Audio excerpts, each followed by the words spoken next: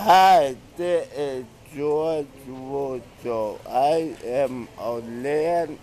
I am Florida, Boca Raton, and I at here at the Gumbo Limbo live, and I see some lot of fishes and talking to ladies and stuff. And Good afternoon, it ladies and gentlemen. My name is Giles Lucas.